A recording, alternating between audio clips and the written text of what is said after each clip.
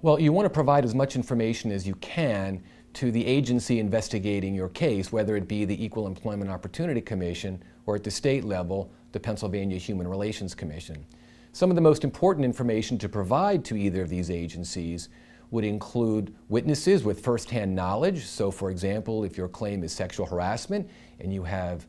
uh, colleagues who witnessed the sexual harassment, you would want to provide the investigating agency with the name and contact information of the witnesses with firsthand knowledge.